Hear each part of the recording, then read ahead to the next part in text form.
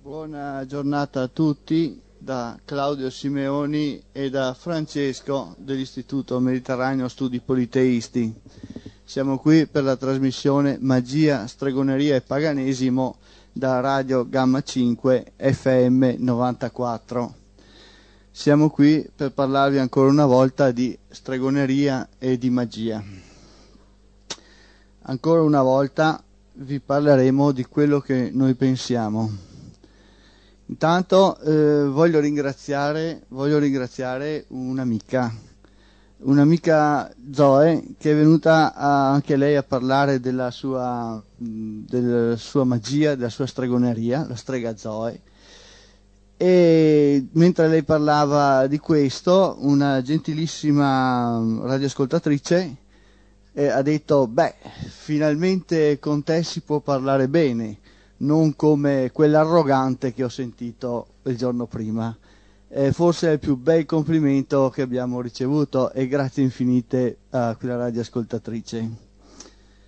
Niente, noi oggi cercheremo essenzialmente di parlare di alcuni termini che usiamo normalmente.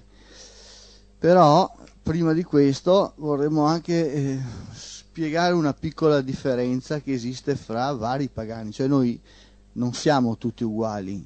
Eh, io eh, dico quello che penso, quello che vedo e quello che percepisco io e nel modo e nella forma che io percepisco. Mentre invece Francesco, che fa parte dell'Istituto Mediterraneo Studi Politeisti, vi parlerà che all'interno dell'istituto ci sono vari modi di vedere le cose, di dare importanza alle cose, perché le nostre soggettività sono sempre diverse. Il paganesimo si differenzia da ogni altra religione perché non esiste un uh, riferimento ideologico, un'idea precisa alla quale sottomettere le persone. Al contrario, esistono le persone che percepiscono il mondo e che si mettono insieme per fondere la loro percezione. Pertanto il paganesimo si differenzia perché non ha eh, un libro sacro, ha dei principi sacri, ma non il libro sacro. Ora, eh, alcuni pagani percepiscono il mondo circostante come un mondo vivo, come del resto lo percepisco anch'io.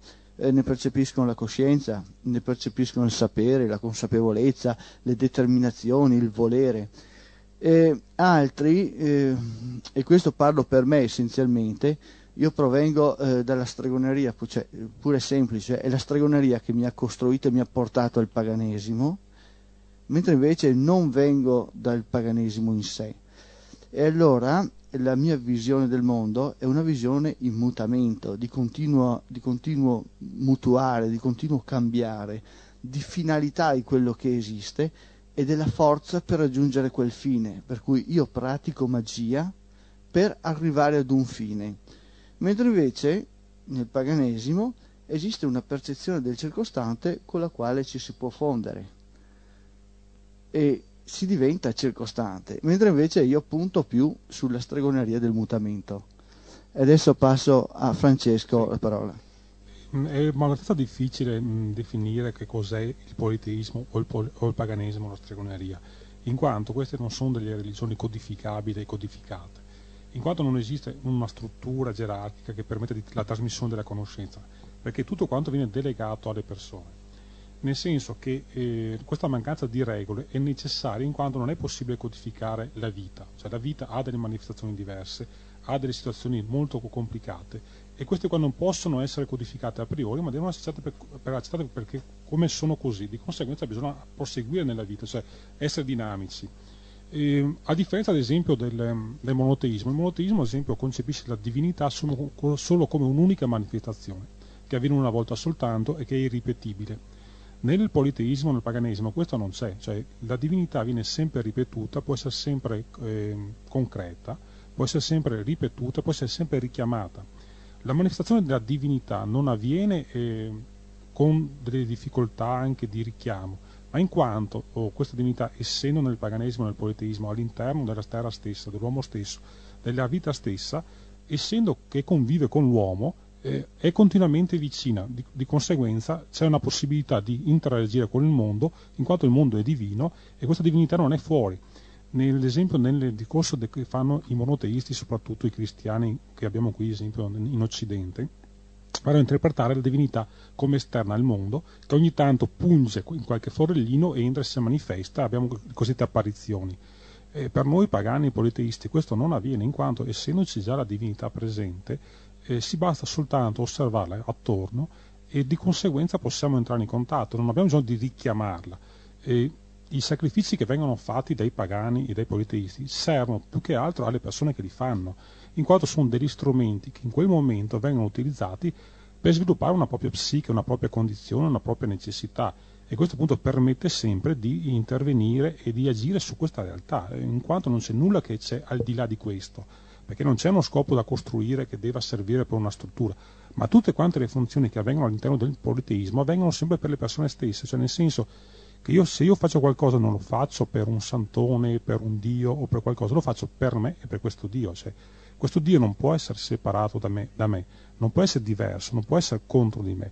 Cioè, um, un esempio che noi possiamo fare eh, per capire questa differenza lo abbiamo ad esempio col Dio esempio, dei, dei monoteisti cristiani.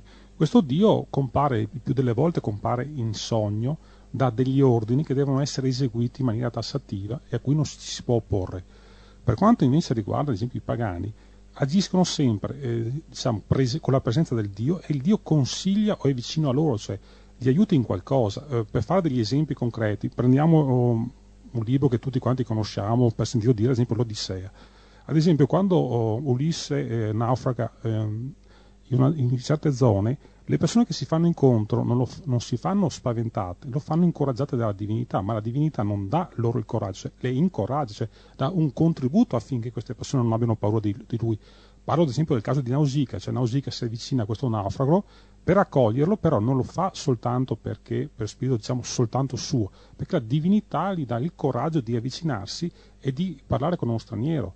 Eh, l'aiuto che viene dato a tutte quante le persone nel paganesimo, non è un aiuto perché obbligatorio, perché c'è un discorso che nel paganesimo nel politeismo la base non è una struttura esterna, ma è la comunità, una tribù, quello che, quello che vogliamo intendere come un'aggregazione, una società. E questa società può vivere solo con delle regole, cioè accettando le altre persone, di conseguenza ponendo il valore delle persone, delle cose all'interno di questo mondo, non c'è nulla che possa essere abbandonato, perso, non accettato, tutto va compreso. Difatti noi nel paganesimo, nel politeismo, nella stregoneria abbiamo delle divinità per più funzioni. Cioè, nel paganesimo non esiste il problema di interpretare una manifestazione di dire è una manifestazione regolare, è irregolare, è una cosa non accettabile. Noi abbiamo ad esempio nel monoteismo che dicono questa è una manifestazione satanica, questa è una manifestazione negativa, questa è qualcosa che va combattuto. Nel politeismo questo non esiste in quanto qualsiasi manifestazione, per quanto possa essere contraria a noi o possa essere contro di noi o che non ci piaccia, ha una sua divinità. Il fatto che noi ne abbiamo una paura di questa, di questa manifestazione o di questa cosa non dipende tanto dalla nocività in se stessa, è da una nostra mancanza di capacità di comprenderla.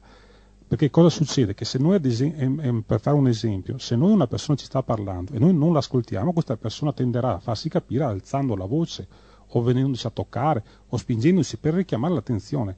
Le divinità pagane, essendo trascurate, e non ce ne accorgiamo che ci sono, logicamente manifestano la loro potenza. Eh, perché noi ad esempio abbiamo delle manifestazioni in queste società, nella nostra società, che sono tendenzialmente estreme, proprio perché non, non riusciamo a trovare una spiegazione o perché non riusciamo a vedere cosa c'è dietro. Eh, moltissimi esempi fanno degli esempi concreti di divinità nel mondo contemporaneo. Dicono, noi notiamo ad esempio uno sviluppo della violenza. Benissimo, la violenza ehm, va controllata, va limitata, ma non può essere negata, cioè, in quanto nell'uomo esiste una base di violenza. Perché questa violenza ci sfugge e questa violenza non riusciamo a controllare, questa violenza si può distruggere, perché noi non ci accorgiamo di quella divinità che è all'interno della violenza stessa e di conseguenza più noi ne siamo privi di conoscenza e più questo cerca di farsi capire.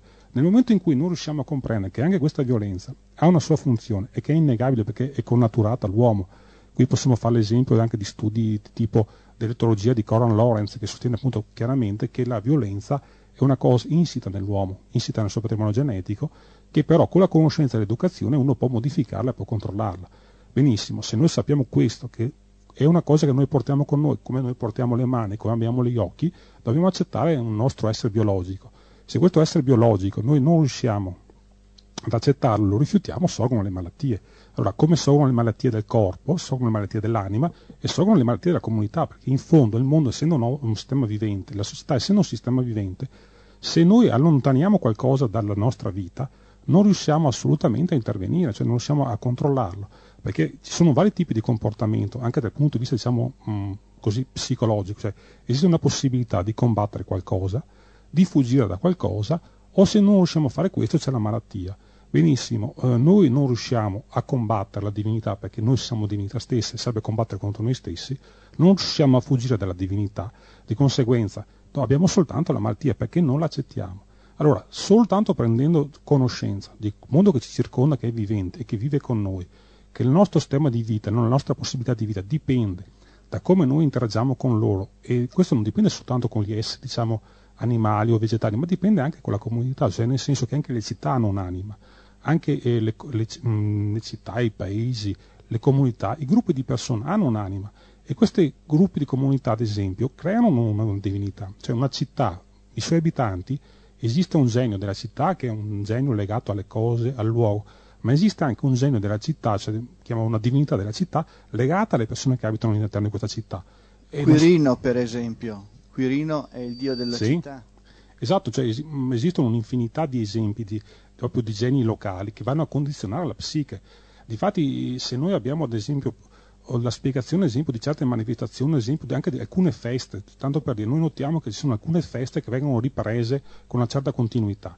Queste feste vengono riprese perché? Perché esiste un genio locale che va a condizionare e modificare il comportamento delle persone, cioè nel senso che è talmente forte che noi non lo possiamo sardicare, di conseguenza riesce a trasmettere eh, tramite influssi di vario genere un condizionamento alle persone, queste persone sentono il bisogno ad esempio di fare la festa delle castagne o la festa delle noci, perché? Perché appunto questa divinità è così forte che chiede la sua presenza e gli uomini cercano di assecondarla il fatto che noi riusciamo a creare questo rapporto, cioè di interscambio con la divinità, ci permette di vivere meglio. Cioè, quello che voglio far capire è che noi non dobbiamo pensare che esista una religione, ma esiste una religiosità e questa religiosità viene delegata a tutti, cioè nel senso non esistono dei sacerdoti che ti possono far capire che quello che ti circonda è sacro, ma deve essere il tuo modo di agire, il tuo modo di fare, il tuo modo di intervenire che ti permette di entrare in contatto con la divinità e di conseguenza non c'è neanche bisogno di, un, di qualcosa, diciamo, di un testo, perché i testi sono superflui, cioè possono fare cultura ma non fanno conoscenza. La conoscenza viene fatta soltanto dal nostro essere. Cioè noi possiamo prendere delle tecniche, ma se queste tecniche noi non le sappiamo utilizzare, è come ad esempio uno che si mette a leggere un libro di computer può benissimo leggere, ad esempio, un linguaggio di programmazione, può benissimo capire le parole ma non sa programmare, perché metti non si impegna, non gli interessa, non lo vuole fare e di conseguenza ehm, noi dobbiamo capire che quello che facciamo è legato al nostro modo di essere. Difatti, eh, gli esempi più classici che si possono dare di paganesimo non sono in testi sacri, cioè nel senso che non c'è la possibilità di dire io voglio capire cos'è il paganesimo, il politismo, la stregoneria con un testo sacro, cioè dire esiste la Bibbia della stregoneria, non esiste. Tutti i libri che sono in giro di stregoneria sono libri che sono di supporto, sono delle invenzioni, gran parte sono fatte anche dagli avversari. Le streghe, ad esempio, che sono stato il più grande movimento diciamo, pagano e politista, mm, nel, soprattutto di massa, cioè di gente, negli ultimi secoli, non hanno lasciato dei testi sacri, cioè gli unici testi che sono rimasti sono stati gli atti dei loro processi, ma loro non avevano bisogno per vivere di avere un testo o di delegarlo a qualcuno, avevano bisogno di comportamenti, avevano bisogno per essere streghe o per essere stregoni, ad esempio, di di andare al sabato, cioè di andare a una riunione collettiva che permettesse a tutte le persone di manifestarsi e di partecipare a un rito, cioè di partecipare a qualcosa di collettivo. E questo è fondamentale. E soprattutto, se noi notiamo ad esempio, la, esempio nei processi di stregoneria, questo attacco continuo, ad esempio, al comportamento anche estetico delle, delle streghe, cioè le streghe, gli stregoni vanno nudi, eh, mettono sul loro corpo un unguento, proprio perché è fondamentale nella comunicazione, eh, nella stregoneria, nel paganesimo, nel politismo, è la, fondamentale il linguaggio del corpo e delle immagini, cioè tutto quanto il paganesimo, tutto il politismo le, eh, lega il suo modo di essere, di manifestarsi, sono delle immagini. noi possiamo fare ad esempio un esempio ben concreto di cosa è importante un'immagine noi abbiamo nel monoteismo, soprattutto quello cattolico qui nel mondo occidentale, una presenza di Dio che è di un cadavere. Sostanzialmente il corpo di Cristo noi lo vediamo sempre manifestato come un cadavere, con un cadavere eh, ferito, sanguinante e sempre morto. Al contrario, nel, nel, paganesimo, nel politeismo, noi troviamo un'immagine inversa, troviamo ad esempio l'immagine di Pan.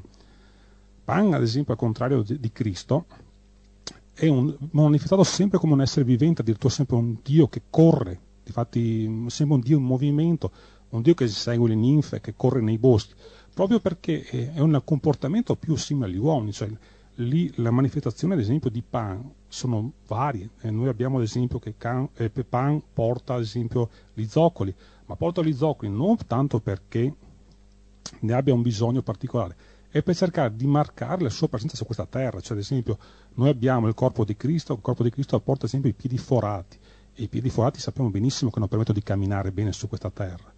Eh, abbiamo che ad esempio Cristo muore, ma non muore sulla terra, non viene neanche inumato, cioè non viene neanche messo in una fossa, viene addirittura appeso, cioè staccato dal terreno. Abbiamo che ad esempio il suo cuore eh, è ferito, abbiamo constatato che perde sangue, noi sappiamo che appunto quando si perde sangue si perde la vita, cioè si rischia, e di conseguenza abbiamo l'esempio di un corpo malato.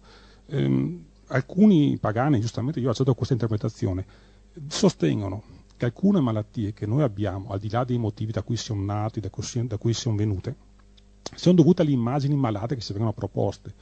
Prendiamo ad esempio l'immagine appunto sempre di Cristo, assomiglia benissimo alle, a certi tipi di malattie che stanno diffondendo, si parla de, dell'AIDS, cioè se noi prendiamo il corpo di un malato di AIDS e lo confrontiamo dal punto di vista dell'immagine con, con il corpo mh, di Cristo, vediamo che esiste una somiglianza incredibile proprio perché in 2000 anni eh, è stato inculcato nelle persone una forma di manifestazione corporea di un certo tipo.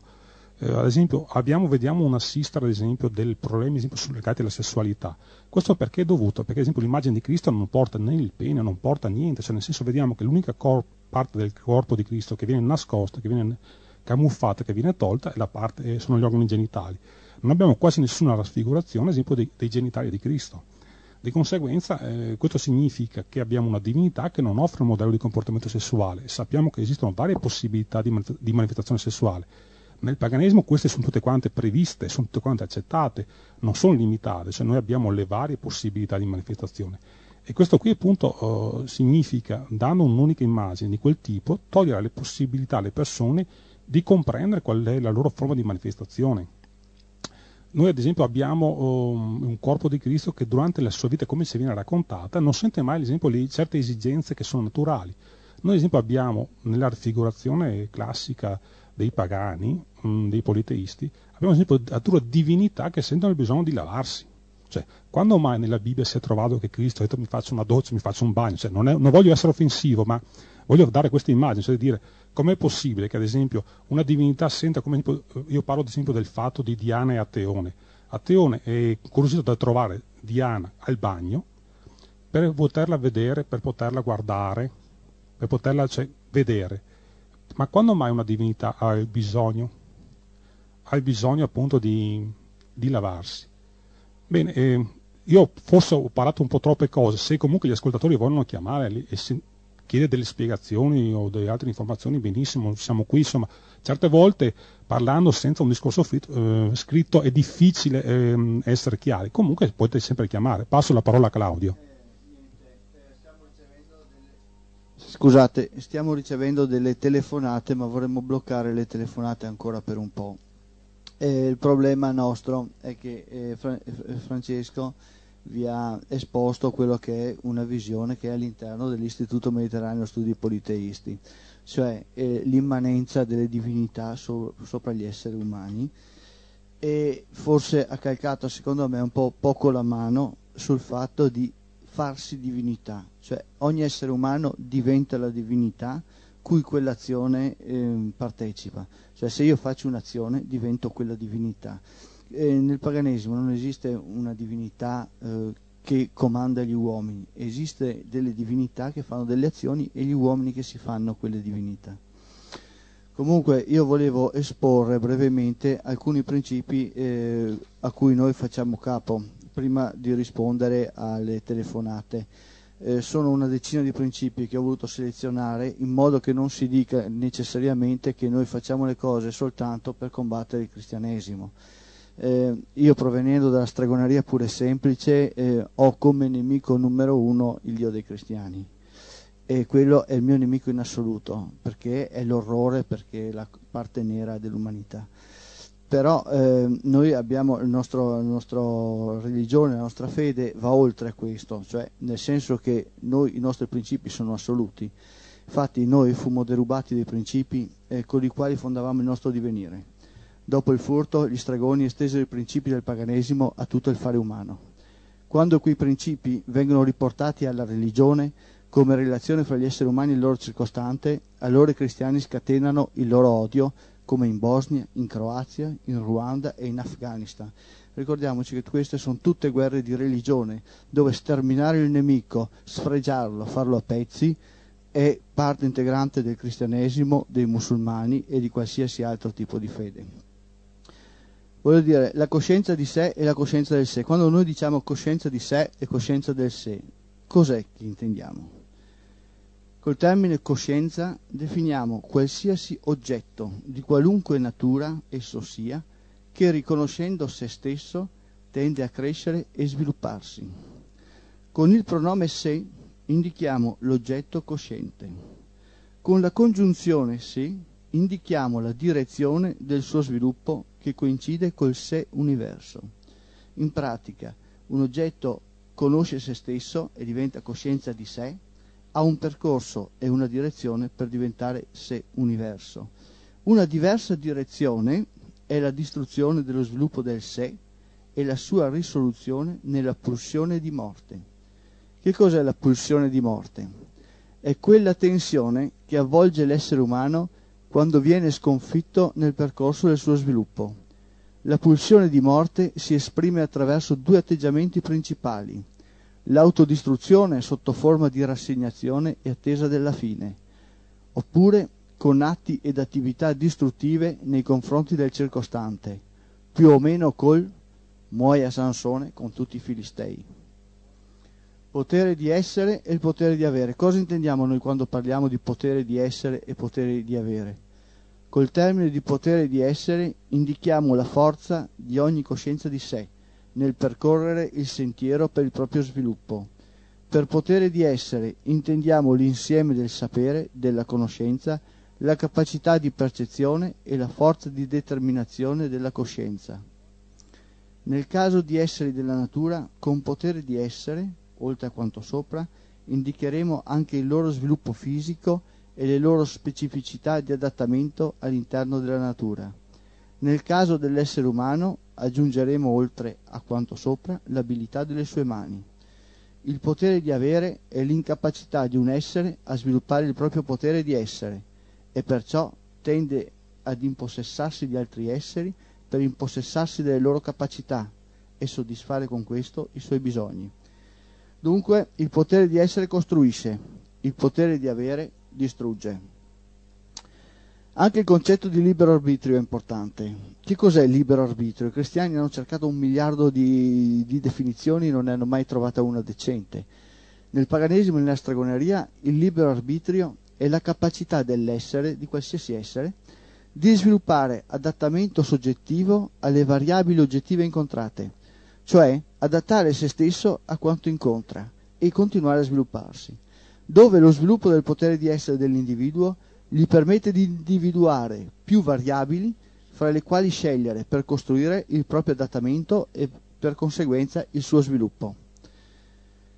Un altro termine che noi usiamo è il condizionamento educazionale.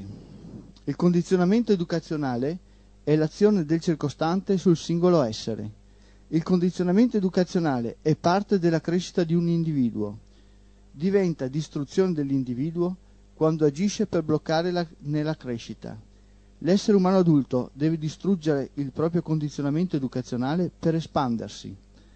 Alcuni mezzi per liberarsi dal condizionamento educazionale sono ricercare la libertà del fare per costruire il proprio potere di essere, chiedersi il perché delle cose e il perché del perché delle cose, sviluppare meditazione, contemplazione e sognare per alterare i sensi. Ciò permette di superare i fenomeni descritti dal condizionamento educazionale e tendere a puntare l'attenzione sulle cause. Un altro concetto del paganesimo e della stregoneria è il divenuto e il divenire. Nella stregoneria e nel paganesimo ogni cosa dell'esistente, ogni essere, è divenuto attraverso una sequenza di trasformazione di quanto lo ha preceduto, sia a livello fisico, sia nella struttura dell'energia vitale, sia nella coscienza che nelle sue determinazioni con le quali agisce. In stregoneria nel paganesimo si dice ogni cosa dell'esistente e ogni essere ha lo scopo di costruire il proprio divenire, crescendo e dilatandosi nel circostante. Questo finché non interviene la pulsione di morte che sviluppa il bisogno di appropriazione e distruzione del circostante. Pertanto non esiste il concetto di creazione, in quanto il concetto di creazione è un parto di fantasia malata di morte. Essere ed entità, e questo è un discorso abbastanza complesso. Nel corso dell'evoluzione alcuni esseri unicellulari hanno dato vita ad esseri pluricellulari, dove l'essere pluricellulare, dal punto di vista della stregoneria, può essere considerato come risultante di tutte le sue parti. Per assurdo, se nascessimo senza gli occhi, per guardare la nostra coscienza, il nostro essere, sarebbero diversi. Ogni essere della natura può essere considerato come un'entità formata dall'insieme delle sue parti, delle sue cellule. In stregoneria e nel paganesimo si afferma che la singola coscienza di sé, dell'essere, può diventare parte di coscienze di sé pur continuando a mantenere il proprio tipo di individualità e questo è il farsi divino, il farsi Dio. Per gli stregoni e i pagani l'entità è una coscienza di sé formata dall'insieme di coscienze di sé. Questa può essere specifica, territorio o tensioni, o universale. Un altro concetto è l'attenzione. L'attenzione è la capacità dell'essere, e dell'essere umano nel nostro caso, di concentrare tutto se stesso in una sola direzione. Così l'attenzione nella contemplazione consiste nel concentrare tutto se stessi nella contemplazione e sull'oggetto contemplato. Così l'attenzione nella meditazione consiste nel concentrare tutto se stessi nella meditazione e sul flusso dei, degli oggetti del pensiero. Così l'attenzione nel chiedersi il perché delle cose consiste nel concentrare tutto se stessi nel chiedersi il perché delle cose. Così l'attenzione nel sognare significa concentrare tutto se stessi nell'arte del sognare. L'attenzione è la capacità dell'essere, di ogni essere, di concentrare se stesso in funzione di un qualche obiettivo. Un'altra cosa noi, eh, di cui parleremo molto è il termine volontà e determinazioni. Deter- le determinazioni sono le azioni e le gesta che un essere esegue per imporre la propria presenza e il proprio diritto ad esistere al mondo circostante. Le determinazioni sono le azioni attraverso le quali il circostante si relaziona col singolo essere. La volontà è la capacità dell'essere di costringere il circostante a considerare la sua presenza e a comprenderla nel suo divenire. Volontà è la determinazione del soggetto a dire al circostante io sono e ho diritto al mio divenire. Un altro concetto è il concetto di divinità abbiamo, di cui abbiamo già parlato precedentemente. Che cos'è una divinità? È ogni essere il cui scopo è estendere se stesso in armonia col circostante. Per fare questo, ogni divinità deve favorire il divenire di ogni altro essere, di ogni altra divinità. Ecco, eh, vi ho illustrato alcuni punti di cui noi eh, nel corso delle varie trasmissioni parleremo e secondo me era importante parlare di questo perché altrimenti arrivavamo a scannarci con, con i cristiani e con i cattolici in particolare e basta. Ora, eh, se Francesco vuole aggiungere qualcos'altro, dopo cominceremo a dare via alle telefonate.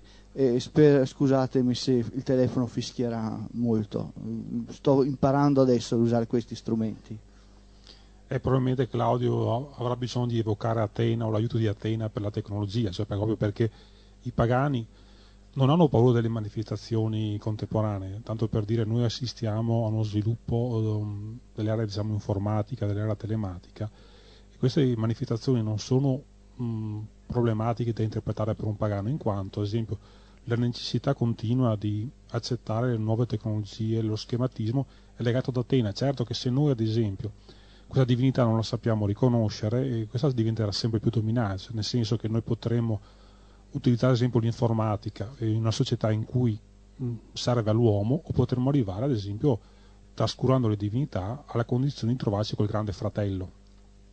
Questo appunto succede proprio perché noi non siamo capaci di interpretare la realtà come si presenta. Ma quello che è fondamentale per capire eh, le manifestazioni appunto delle varie divinità è il loro contributo che danno all'uomo. Cioè, noi nel monoteismo, e parliamo appunto del cristianesimo, cattolicesimo, ebraismo e mh, mm, islam, le divinità eh, non insegnano niente dell'uomo, cioè danno degli, danno degli ordini, danno delle direttive e questo devono essere rispettati. Noi notiamo ad esempio nel paganesimo, nel politeismo, che le divinità eh, servono l'uomo, cioè le aiutano. Tanto per dire, noi abbiamo ad esempio la presenza mh, di Pan nelle attività concrete, cioè non va a bloccare le attività degli uomini. Cosa vediamo? Ad esempio, Pan interviene nella battaglia di Maratona, dalla parte, si schiera da una parte e difende logicamente eh, chi gli è più vicino. Noi ad esempio vediamo che Apollo esempio, insegna a coltivare l'olivo. Eh, gli spostamenti delle divinità non avvengono in un territorio per portare qualcosa e imporre qualcosa e trascinare via le persone, avvengono per poter permettere alle persone di poter anche vivere meglio, cioè insegnano l'agricoltura. Ma il loro modo di agire non viene mai condannato, cioè nel senso che una divinità eh, può fare qualsiasi cosa, ma è, la condanna non può essere la morte o non può essere un esilio. Cioè, prendiamo il caso di Prometeo. Prometeo vede gli uomini che sono in certe condizioni che hanno un bisogno e cosa fa? Eh, ruba agli dei il fuoco e lo dà agli uomini. Giove non lo uccide, non lo condanna, eh, lo mette, cioè, lo castiga, sì, lo, però non gli toglie la vita, cioè, nel senso che lui ha sempre la possibilità di ribellarsi e di tornare libero, cioè non gli dà una condanna che è assoluta. Dice tu non dovevi fare questo, eh, va bene, io non ero d'accordo, però sì c'è. Mm.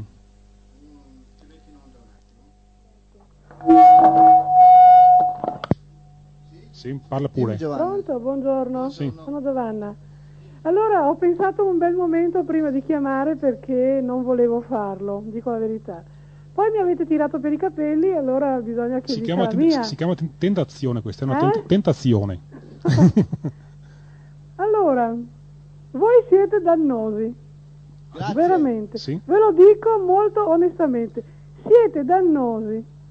Perché Già ne abbiamo avuto di male dalla Chiesa, io sono assolutamente contraria con, la, con tutto quello che è, che è stata la nostra, il modo di vivere la religione, di vivere la religione, eh? che è diverso. Voi arrivate qui e ci propinate tutte queste cose che ognuno di noi, se è interessato, entra in una libreria anche di infimo ordine, trova quello che voi state propagandando. Sicura? Eh? Sicura? Eh? sì, comunque... È... Altro che... Però, devo... Altro che sì. Innanzitutto vorrei sapere a che istituto appartiene, lei non si sa da che parte... Sì, beh, ti dico, l'Istituto Mediterraneo di Studi Politeisti che... È, Dove? Un... Dunque la sede, ti do l'indirizzo, ti do la recapito postale, alla casella postale 53. 30... Aspetta perché alzo un po' la radio perché non sento niente, sì, un dunque. attimo solo. Allora, per chi ad esempio volesse avere maggiori informazioni, noi possiamo inviare anche del materiale gratuitamente, logicamente... Ah. Sì, mi... Ah, ecco qua, adesso ho capito. Voi inviate materiale. È la domanda che ho fatto la settimana scorsa. Sì. Cosa fate voi in radio? Cosa, qual è lo scopo finale della vostra, della vostra trasmissione? Eh, dunque, Vendere libri? No, a, no, no, no, no, no. A fare proseliti? No, no, fare no, no, soldi? no, no, no, no. Fare riti strani? Non le pare che ne abbiamo abbastanza di riti strani in giro? No, anzi ne mancano Ce forse. ne ho mai proposto qualcuno? Mi hai mai sentito proporne? Guarda, al- dunque, voi non mi conoscete, io Mm. non conosco voi, Sì. perciò non posso naturalmente eh, sapere quello che voi fate voi non potete sapere quello che io posso fare o non Sì, sì, fare. questo, questo è vero, sì. Ecco, Perciò questo è un discorso a parte, non è una domanda giusta da fare, Mm. perché non ci conosciamo, non conosciamo le reciproche esperienze, chiaro? Sì. Perciò non si fanno. Voi, ripeto, e non voglio più andare avanti perché sennò altrimenti sarei qua tutta la, tutta la sera a cercare di combattere voi e voi combattere me, io non voglio che voi cambiate idea e neanche voi dovete far cambiare idea a me. Ma siete dannosi, Grazie. molto dannosi. Grazie. Questo è Grazie. un buon incoraggiamento. Ah, eh. e sì, e siccome fa, mi fa tanto piacere sentire queste cose, Mm. io sarò molto felice, e questa è una cosa che poi è un'arma a doppio taglio Sì. per chi è sottile, Vorrei che anche le altre donne o gli altri uomini non vi chiamassero, non facessero l'errore che sto facendo io in questo momento a chiamarvi, mm. perché in questo momento io sto facendo un grave errore. Grazie bene, Giovanna. Chiaro? Grazie. Spero che tu farai ancora altri errori come questo. Eh, va bene, a voi fa piacere. Io comunque contesto e ne parlerò probabilmente se avrò, mm. se avrò voglia, con Franco. D'accordo. Perché voi siete dannosi, sì, ragazzi, sì, sì. dannosi. Grazie. Ecco. Arrivederci. Arrivederci. Sì, eh, io volevo dare una risposta. Eh, guardate che sono telefonata. Pronto? Sì, pronto? Pronto? Sì, sì, parla pure. Pronto? Sei già in diretta, ti sentiamo. Ecco, io sono Angelo, eh, mi trovo perfettamente in linea con la Giovanna, ma perfettamente in linea. Voi siete dannosi adopero la sua frase perché eh, proprio calza pennello. Allora, una cosa, primo, non riesco a capire perché uno apre una trasmissione in una radio, libera naturalmente, ma libera non significa pestare su quella che è diciamo, l'intelligenza delle persone, secondo me, no? perché libertà è un altro discorso, questa è anarchia. Eh, avete aperto la trasmissione dicendo che avete avuto, cioè quella signora che ha detto che dell'arroganza eccetera, dice questo è il più bel complimento. Io non riesco a capire perché due personaggi, perché ecco, non vado oltre, devono venire su una radio e, e cioè, provocare per sentirsi insultare, dice questo cioè, è un complimento per noi, perché questo non riesco a capirlo. Poi ragazzi, eh, documentatevi prima, eh, riusciamo un attimo a capire cosa significa spiritualità e materia, perché sono due cose completamente diverse. Allora voglio fare una precisazione, non è che sia insita nell'uomo l'aggressività, perché siete rimasti indietro, perché in questi ultimi tempi, proprio studi fatti recenti in, in Inghilterra, tanto per non far nomi, hanno dimostrato che un'alimentazione sbagliata crea aggressività in un bambino. Questo vale per il bambino, vale per tutti. Cioè voi non avete capito che il, l'organismo, cioè la, la, la, natura eccetera, è fatta di, di cellule, di cellule con tutto quello che ne compete eccetera. E i nostri stati d'animo, sono influenzati, questo non lo dico io, ma è la scienza che lo dice, da certe, da certe reazioni biochimiche che avvengono.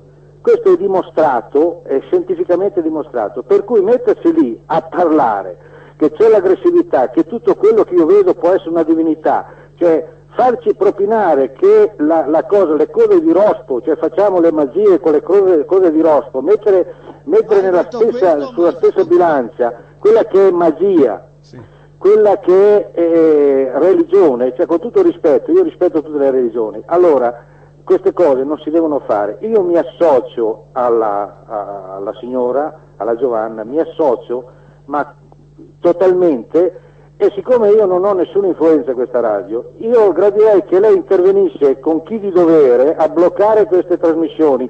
E guardate caso cioè per non essere frainteso, che io sono, mi reputo una persona molto ma molto democratica, però non, non apprezzo l'anarchia, perché questa è anarchia, cioè uno non può andare a dire tutto quello che vuole. Eh, cara signora Giovanna, che non ti conosco, mi spiace perché io ho commesso lo stesso errore tuo, ma è un errore necessario. Cioè il fatto, pregherei anch'io vivamente Grazie, che c'è qualcuno di protestare ma non di telefonare più. Grazie. Ciao, grazie.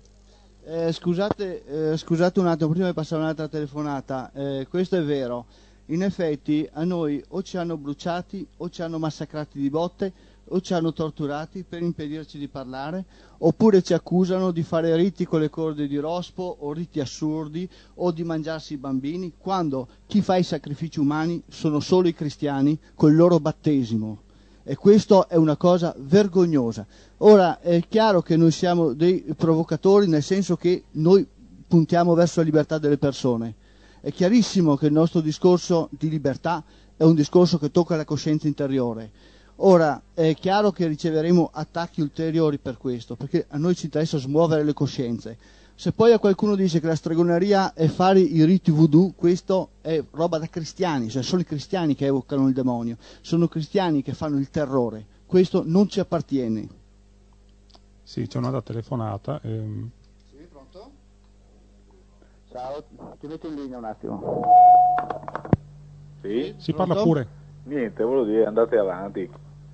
Forza e coraggio. Grazie. Senza Grazie. problemi. Fatevi un po' capire io ho 29 anni, non ne ho mica 40, ma fate andare te, fate, mandate avanti, insomma. Grazie. Grazie. Ciao. Ciao, Ciao. ciao, grazie.